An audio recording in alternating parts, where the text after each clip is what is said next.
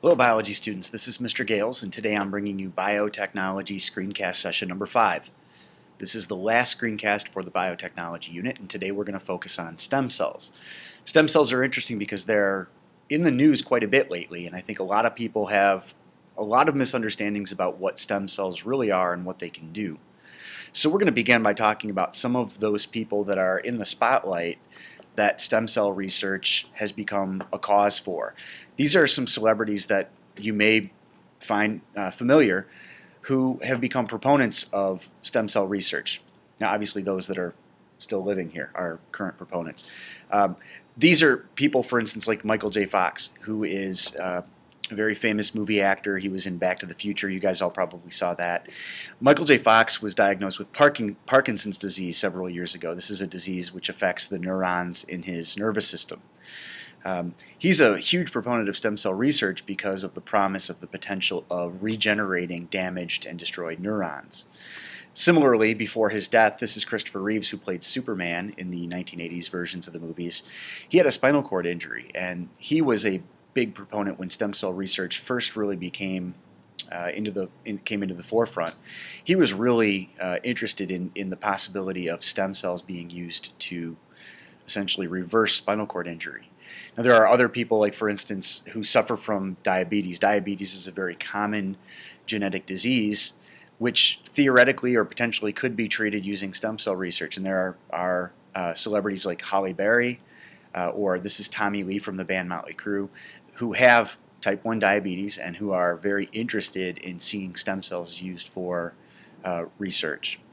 So this is a, a, topic that's in the news quite a bit, and you've got people that are, are famous who are putting a lot of their weight behind stem cell research. So let's talk a little bit about what stem cells are. What we're going to begin with is an animation which will take you through uh, a description of what stem cells are, how stem cells are derived, and then ultimately what can be done with them. We're also going to be looking at in this animation uh, really the the differences in the way that the stem cells are, are harvested and why those differences are important for treatment. So we're starting off with a picture which shows the hierarchy of stem cells and this will be described in the animation. So I'm going to pull up the animation and from now on I'm just going to go ahead and play this animation. You guys can watch this and then after the animation we'll talk about some of the main ideas that were discussed. Stem cells can be obtained from many sources, but not all stem cells are equal.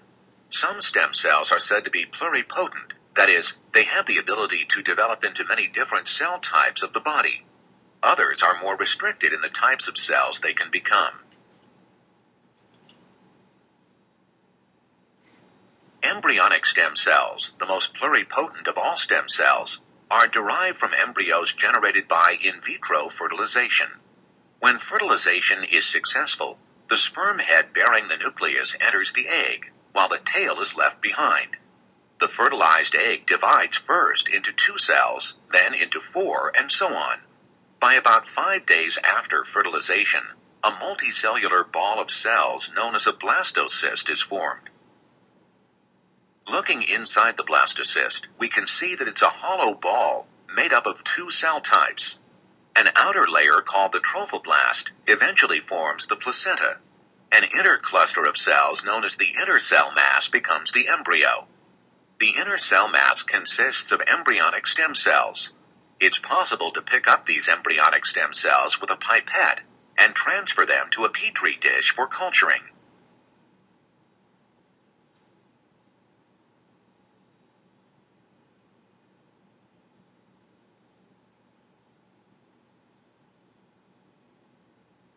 Colonies of cells that result can be further propagated by transferring them to new petri dishes.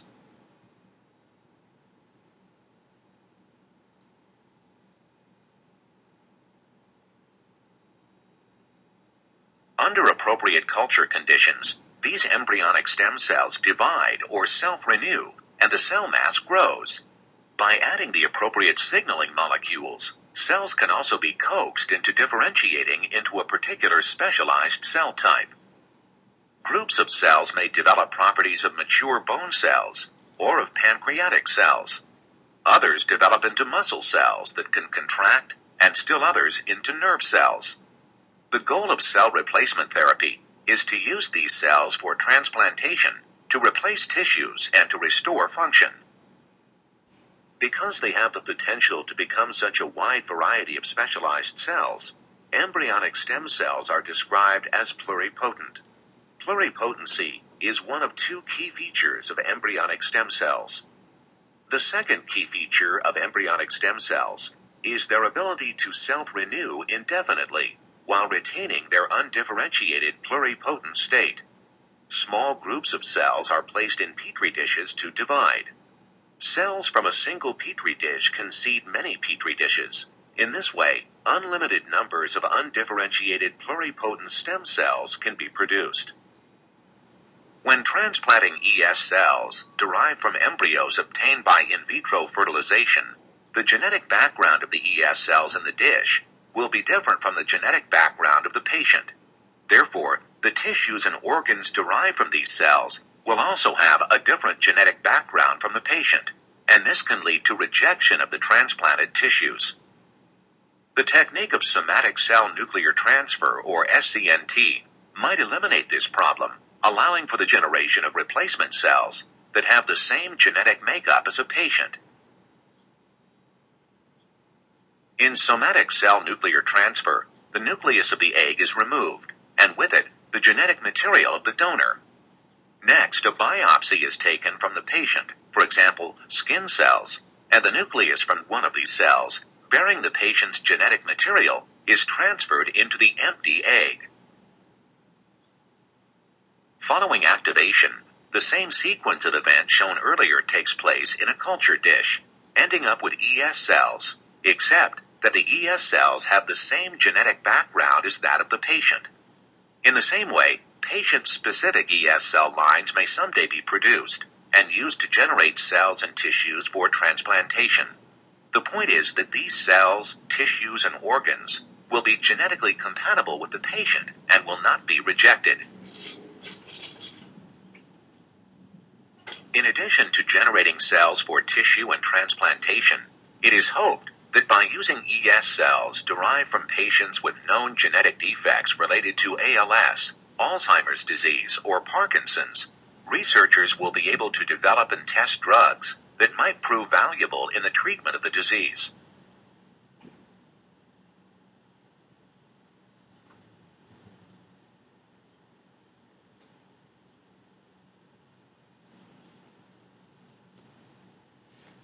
All right.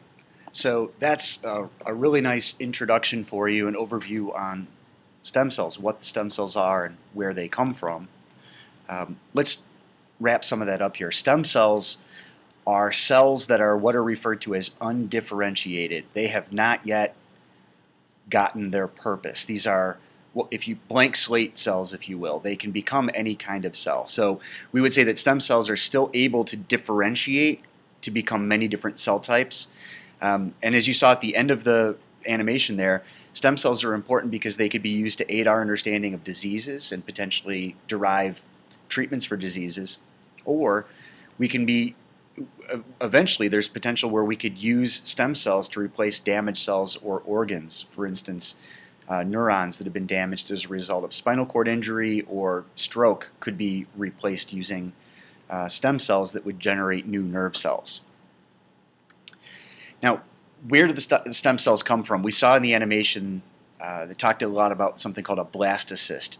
This is the normal course of human development. We have fertilization where the sperm and the egg fuse together, and the very first cell that forms is called a zygote. Now, a zygote will begin to divide, and as it divides in the first very first few divisions, it forms what's called a morula, which is that initial ball of cells. Those cells, cells are referred to as to totipotent, think totally potent. They can generate the entire new organism in addition to any other stem cell tissues that are that are produced. Now that is only possible in that very early stage development. Now after a few more days, we're talking about up to about five days, after about five days we have what is referred to as the embryo. Uh, the fancy name for embryo is blastocyst. This is a concept that you're going to want to make sure that you have a, a good understanding on. Um, the blastocyst is made up of the outer ring of cells and then the inner cell mass. And you can see the inner, inner cell mass here. Uh, blastocysts are up to about 200 cells. Um, there is no nervous system, there is no heart, there's no lungs. It is just a collection of cells. It would be very difficult for you to tell the difference between a human blastocyst or the blastocyst of any other animal. Now, in the course of normal human development, that blastocyst, as it begins to divide, and those cells, the inner cell mass, those are the stem cells, they will form the different kinds of tissues and cells and organs that make up the fetus, which would be what we would begin to recognize as being human, and then obviously eventually our person would be born and, and go through full development. Um, now, those stem cells that are found in the blastocyst are what we would refer to as embryonic stem cells. There are different types of stem cells that are currently being investigated. The two major types are embryonic stem cells and adult stem cells. Embryonic stem cells are those found in that inner cell mass of the blastocyst. It is really crucial to know that they are completely undifferentiated. So, in other words, they are pluripotent and that means that they can become all different cell types. The importance of pluripotent cells, as you can see here, right, because we're talking about these pluripotent cells that are from that blastocyst, not only can they become all different kinds of stem cell types, but they can regenerate themselves. So once we have a line of these pluripotent stem cells, we can propagate that line and have more of them. That's a, a real advantage in the research. Uh, the other type of, of stem cells that's being researched are adult stem cells. Now, adult stem cells can be taken out of adult patients. Um, for instance, in the marrow, in the in the bone marrow, we can find blood stem cells. Um, these are stem cells that have the ability to, to differentiate into different kinds of tissues related to their purpose. So blood stem cells, you can see here, would be able to produce new red blood cells and new white blood cells, but they would not be able to produce all of the different kinds of cells that the body is, uses. Uh, adult stem cells are sometimes referred to as multipotent because they might have many different types of cells that they can form, but they're not pluripotent. They cannot form all different kinds of stem cells, and they can also not self-propagate in culture. So embryonic stem cells really has been the focus of most of the research over the last 10 years or so, although there is growing interest in adult stem cells, and we'll be talking about them a little bit more in class. Uh, so we're going to focus a little bit more here on embryonic stem cells since they seem to be the ones that have a little bit more biological function here. Um, the picture that you're seeing here, we're going to start off with our blastocyst, which remember is about five to seven days old, made up of you know up to about 200 cells. And the important part is going to be the inner cell mass, which would be removed from the blastocyst and then cultured in dish. Now, these stem cells that are produced, these are the embryonic stem cells from the inner cell mass, are completely undifferentiated. They're pluripotent, which means that they can make more of themselves and they can make different kinds of specialized cells, including blood cells, neural cells, and muscle cells. So we're essentially removing the inner cell mass in the embryonic stem cells from that blastocyst area. Now there are different sources for embryonic stem cells. One source of embryonic stem cells would be uh, using embryos that were produced through in vitro fertilization. Um, that's one major way, and also through therapeutic cloning, which we've been talking about in class. Uh, in the picture here, you're seeing um, this would be a, a, an apparatus for storing embryos. Now, people that have difficulty conceiving naturally can have what's called in vitro fertilization or, or what is commonly referred to as a test tube baby. This would be where an egg would be removed from the woman and a sperm sample would be collected from the man, or there might be a, a sperm donor. And these two would be essentially mixed together in a, a petri dish. Fertilization would occur outside of the body. Um, and generally, when they do this, they're going to make several embryos and they're going to pick the one or two that seem the strongest to reimplant into the woman. So there are going to be leftover embryos, oftentimes many leftover embryos during the IVF process, and these would be frozen. Sometimes they are um, frozen for if the couple decides they want another child at, at some later point in time.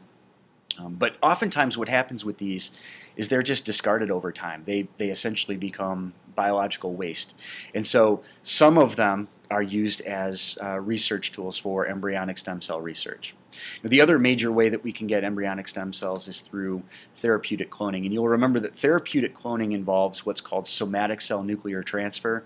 This is where we take a patient's own somatic cell and we would take a, a nucleated egg or a, an egg from a donor, remove the nucleus, we would transfer the nucleus of the somatic cell into the egg, forming essentially a blastocyst, which we would remove the embryonic stem cells from.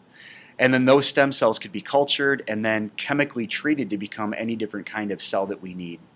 So those are the two major sources of embryonic stem cells currently. Um, both of these have their um, ethical considerations. This is a, a major question in biology right now and also in society. To what extent should we be doing this kind of research? There's lots and lots of promise with embryonic stem cell research, but there's also that concern that it does destroy that blastocyst, which is that early stage embryo. This picture uh, contrasts the IVF process with the somatic cell process. The image across the top shows you what would occur in in vitro fertilization. So in in vitro fertilization, there actually is a sperm and egg that would meet. Um, and it would form that early totipotent ball of cells, which then develops into the blastocyst. Now, here, this is where we would stop. We would prevent the blastocyst from being reimplanted into a woman for pregnancy, and we would use those cells um, to produce a culture of pluripotent stem cells that could then be used for research. Now, as you saw in the animation, one of the downsides of using in vitro fertilization as a source of um, embryonic stem cells is that they are not histologically compatible with a patient.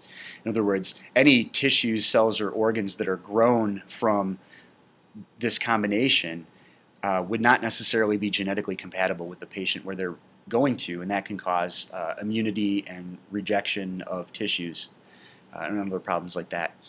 So one way to get around that would be to take um, if you're a patient who's in desperate need of some sort of transplant or of some sort of new cell line procedure, we would be able to take a cell from your own body and using somatic cell nuclear transfer, we would transfer the contents, the genetic contents of that cell into an enucleated egg, like you see here. That means having the nucleus removed. And that would essentially produce a, a clone of, of the patient, of you. Um, those cells would, would begin to divide. We'd have that early totipotent cell mass, which then would form into the blastocyst. The blastocyst at that point would be broken down to extract the uh, embryonic stem cells. And the value here is those cultured pluripotent stem cells would be completely immunologically compatible with uh, the patient that would be receiving them for treatment. So two different ways of, of getting these cells and kind of some of the considerations that relate to each of them. Now, I mentioned before that there is a lot of promise regarding stem cell research. There's also those ethical questions that we need to consider, but let's take a look at some of these different ways that we could use stem cells. We already talked about how stem cells could be used to identify drugs and other treatments for uh, diseases. Right? We can understand uh, genetic disorders more readily when we are able to watch the cells actually get sick in real time. Um, we can test toxicity, right, of certain chemicals and make sure that the chemicals that we're using to treat diseases do not cause cell death. Uh, and then we can study cell differentiation and better understand how we would be able to prevent uh, diseases and, and better treat things like birth defects. But I think probably the most direct usage for stem cells is down in here where we can actually develop new cells and tissues to replace those that have been damaged. Now here we have pancreatic islet cells. Pancreatic islet cells are the cells that produce insulin. So for a diabetic, these are absolutely critical. And if we could replace the, the damaged pancreatic cells with fresh new pancreatic islet cells that produce insulin, we could essentially cure diabetes. Think about people that have heart disease, chronic heart disease, or massive heart attacks and survive. Stem cells could theoretically produce new heart muscle cells to repair that damage.